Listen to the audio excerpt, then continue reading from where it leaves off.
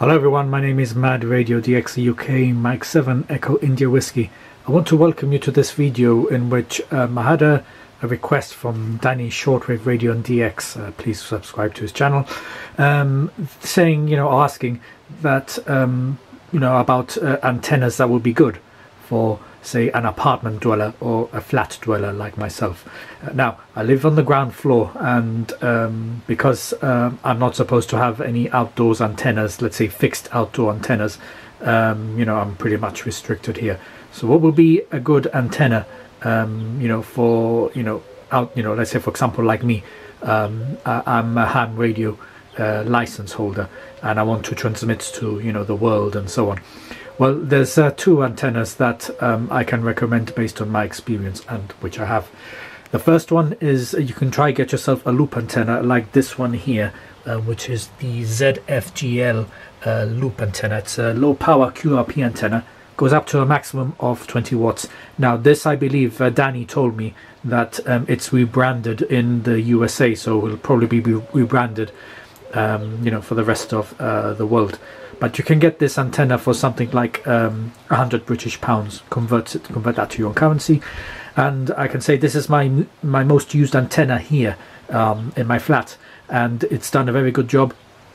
Um, I've managed a lot of FT8 on it. I've you know managed to do uh, contacts with people in Japan in the USA uh, throughout the rest of Europe um, Russia and so on here in the you know uh, here in the UK and again you know this is me on the ground floor with very low height and uh, so on.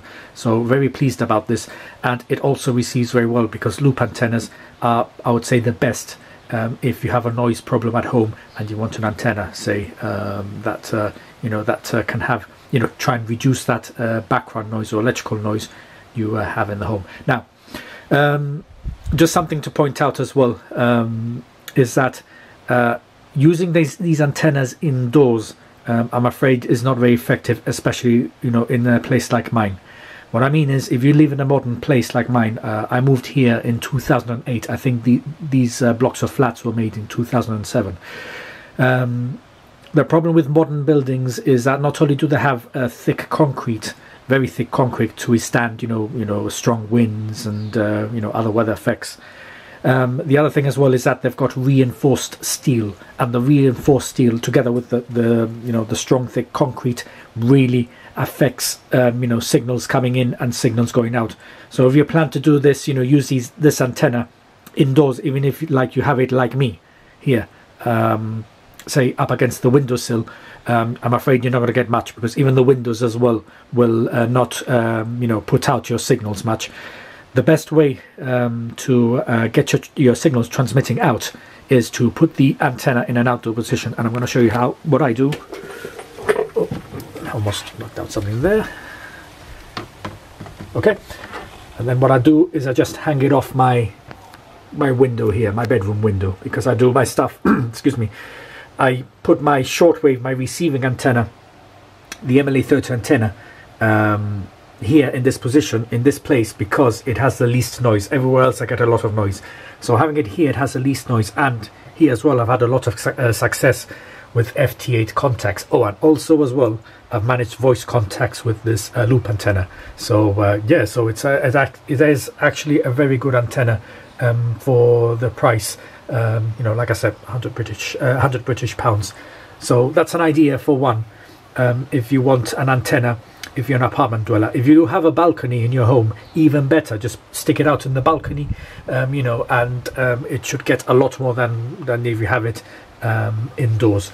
Um, and if you are able to use an antenna indoors with no problem, well, I suppose you live in an old building, you know, or a wooden shack or something like that, because um, you know, like I said, modern buildings, you know, they've got very very thick concrete and you know the reinforced steel just all over and it's just preventing even you know even preventing my mobile phone signal from coming in properly. Sometimes i have to put my mobile phone on the windowsill here um, you know just like right here for example um, in order to get a good signal. So yeah this is uh, my loop antenna and this is how i have it in my you know this is the position i have it um, when i'm doing my ham radio activity so that not only i can receive signals but signals can go out Okay, so let's like uh, take a look at my next antenna that I use um, here in my flat, and that is the MFJ 1621. Okay, so this is the MFJ1621 um, antenna um, or transmitter, I would say. Um, what it is is you've got an antenna tuning unit on the box, and then you have your antenna here connected. Now, just something to point out. I, I, did a video about this MFJ1621 before, but this telescopic antenna that you see here is not the original stock one. It's uh, a third-party one that I got from eBay that uh, has more uh, length um, the original one goes up to something like one one meter seventy five or something like that. This one can go up to five and a quarter meters. So yeah, so this um, MFJ one six two one, just something to point out. It doesn't get the reception as clean um, as the uh, the loop antenna, but um, if I extend this out, I'm going to show you the position I put it in. So let me just extend this antenna a bit. So it's going off camera. Okay. So what I do is I do this. So let me just leave it here like so. I know it doesn't look very professional, but yeah, okay. So I put the um, MFJ 1621 in this position. I've got the antenna um, sticking out here. I put it out even longer. Now the telescopic, I, I you know, it, I extended even longer. Okay, so um, I can tell you that um, for signals, for transmitting out signals, because this the telescopic antenna can reach out higher um, remember, height is like an antenna's best friend, and um, I can transmit out more than, say, um, the loop antenna. The loop antenna does a really good job for what it is, but because I'm able to extend this antenna higher, it's got a little bit more of an edge and can maybe put out a few more signals than, say, my uh, loop antenna. So, yeah, I mean, put it this way because I'm in a, I'm on the uh, ground floor again uh, I'm going to have, you know, my results aren't going to be very good than somebody, for example, living in the third or fourth floor. If I was living on the third or fourth floor and all I had was my loop antenna, that's all I'd need um, because, um, you know, I've got the height already. So the height, um, you know, provided with the, the antenna, you know, I will have great results. But again, like I said, I'm lacking, I'm lacking height. Um, you know, so uh, with this loop uh, sorry, with this whip antenna that I've got and the MFJ1621 extending the, the whip antenna, I'm able to, um, you know, get some height on my antenna and therefore will get me some better results and maybe a few more QSOs or contacts um, than with the, um, the loop antenna that I have. So this is just an example of the antennas for uh, flat or uh, apartment dwellers, you know, and when you're restricted for antenna installations. Now, I could always, um, you know, you look here, you see that hedge over there, there's a fence, and you can say, here you can put an, an end-fed wire.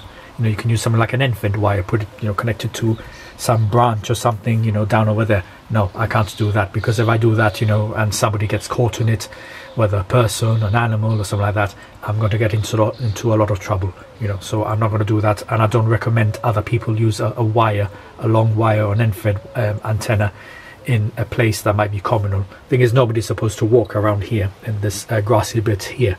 It's restricted only to like the workers that you get here cutting the grass, you know, or anybody doing inspections. But um, like I said, just be very careful if you're using end-fed wires and so on in you know in a communal area. Um, you know, in case you know, because there's always there's always going to be the um, the health and safety aspect um, of it all, and you don't want to risk your you know your your tenancy. So just remember that. So yeah, so two two of these antennas. If there's any antenna that um, you people, you know, anybody flat dwellers use, let me know. Like I, um, it's like I said, I've seen people use end-fed wires in the home. You know, like for example, they they have it in their bedrooms and so on, around the ceiling and all that. But my, uh, like I said, I've got a, I live in a modern building, you know, and signals you know they they're absolutely rubbish when they come into the building whether it's in a portable radio a mobile phone and so on so yeah and this is what i have to do you know in order to carry out my uh, ham radio activity so yeah so just showing these two antennas thank you very much everybody for watching like i said if you have another antenna you know if you if you live in a flat um, and you do um, have maybe a better antenna or better antennas than what i've got let me know please Thank you very much, everybody, for watching. 73s and all the best.